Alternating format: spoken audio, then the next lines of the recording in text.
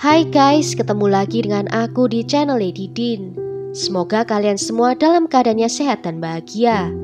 Perjalanan Colette di malam hari itu ke rumah pacarnya menjadi perjalanan terakhir di dalam hidupnya. Apa yang terjadi dan bagaimana kisah lengkapnya? Tanpa basa-basi lama-lama, kita langsung masuk ke ceritanya ya. Sebelumnya, jangan lupa untuk subscribe dulu channel ini dan nyalakan lonceng notifikasinya supaya kalian tahu video terbaru dari aku.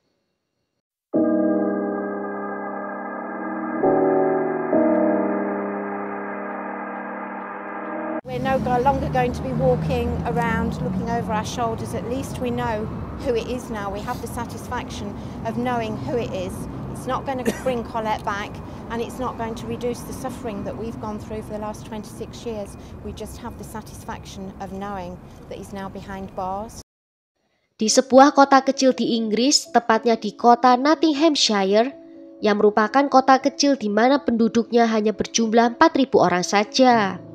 Semua penduduk di sana saling mengenal satu sama lain dan juga dikenal sangat aman dengan tingkat kejahatan yang sangat rendah. Salah satu penduduk kota itu, seorang remaja bernama Colette Aram, tinggal di sebuah rumah di jalur pegunungan bersama dengan keluarganya. Colette lahir pada tanggal 3 Februari 1967 dari pasangan Tony dan Jackie. Dia memiliki seorang kakak laki-laki bernama Mark. Colette adalah seorang gadis yang ceria, lincah, dan juga sangat peduli dengan teman dan keluarganya. Dia memiliki banyak teman karena semua orang senang berteman dengannya.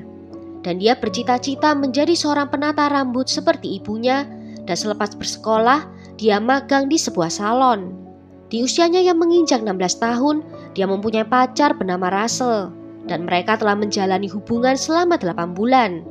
Orang-orang mengatakan bahwa mereka berdua terlihat cocok.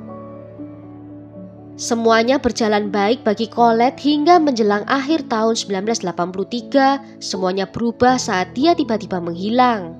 Malam itu di hari Minggu, di tanggal 30 Oktober 1983, Colette mengatakan kalau dia akan pergi bertemu dengan Russell.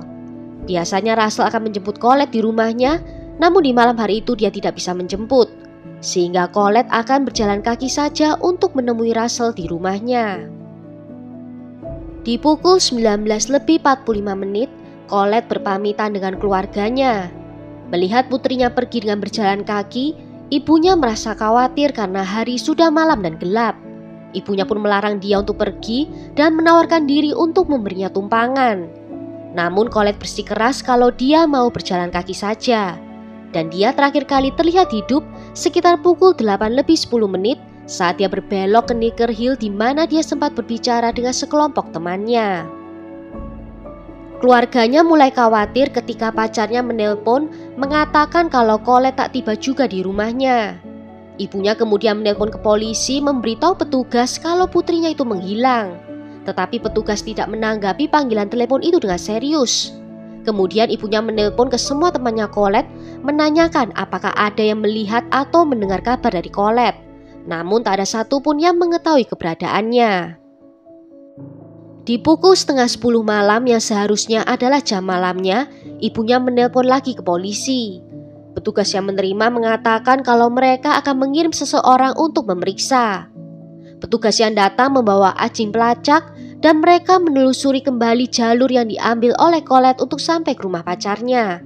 Tetapi mereka tidak menemukan apa pun, tidak menemukan Colette atau ada tanda apa pun. Pencarian pun dihentikan karena sudah malam dan akan dilanjutkan lagi keesokan harinya.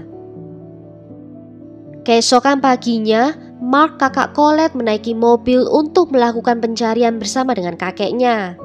Tak lama setelah mereka mencari, mereka melihat ada banyak polisi di pinggir jalan. Mark segera melompat keluar dari mobil dan dia pun berlari ke sana. Seorang petugas polisi mencoba untuk menghentikannya, namun dia sempat melihat adiknya terbaring tak bernyawa di sana. Ternyata tubuh Colette telah ditemukan pagi itu oleh seorang pria yang sedang dalam perjalanan ke tempat kerjanya.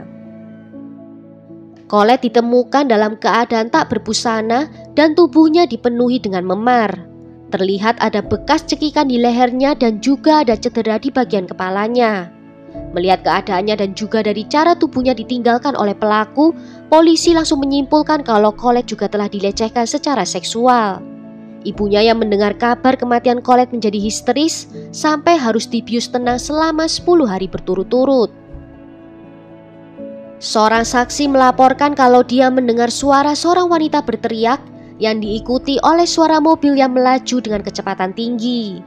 Penyelidikan mulai dilakukan polisi dan mereka menemukan petunjuk pertama yaitu mobil rusak yang terparkir di pinggir jalan yaitu sebuah mobil Ford Fiesta berwarna merah. Satu bulan setelah kematian Colette, pelaku mengirimkan surat kepada polisi yang mengatakan bahwa dia bersembunyi di gudang untuk mengawasi gadis-gadis di sekolah berkuda.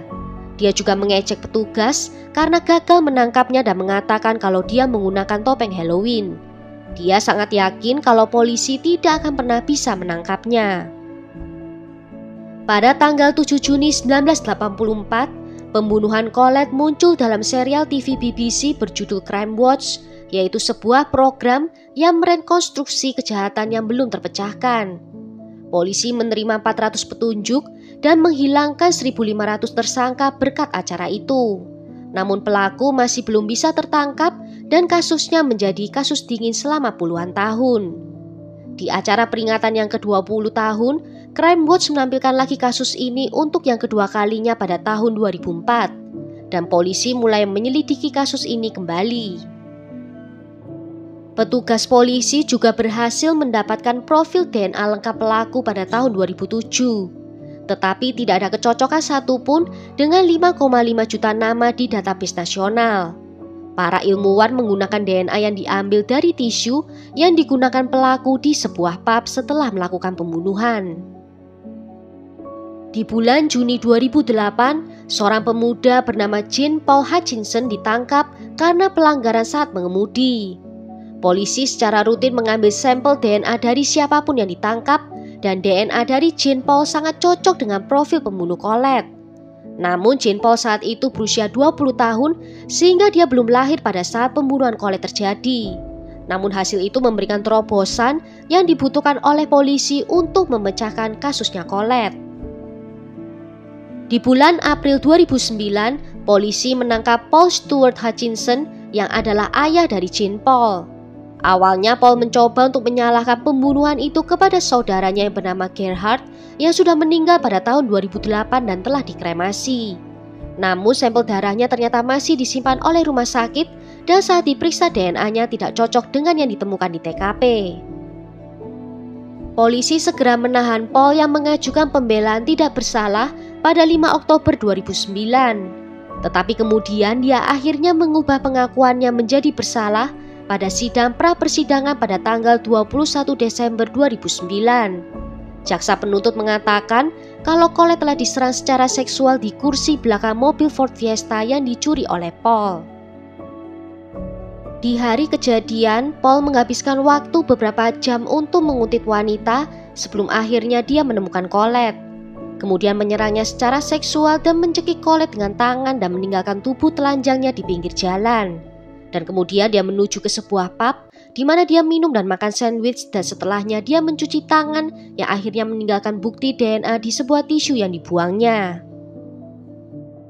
Seorang juri menghukum Paul pada tanggal 25 Januari 2010 dan hakim menjatuhkan hukuman sumur hidup dengan jangka waktu minimal 25 tahun untuk pembunuhan Colette Aram. Ibu Colette mengatakan bahwa hukuman itu membawa sedikit kelegaan tetapi keluarga juga perlu tahu apa motif dibaliknya. Namun Paul menolak untuk mengatakan alasan dia membunuh Colette. Dan belum lama dia menjalani hukuman, di pukul 8 pagi di tanggal 10 Oktober 2010, Paul Hutchinson ditemukan tak sadarkan diri di selnya di penjara Nottingham.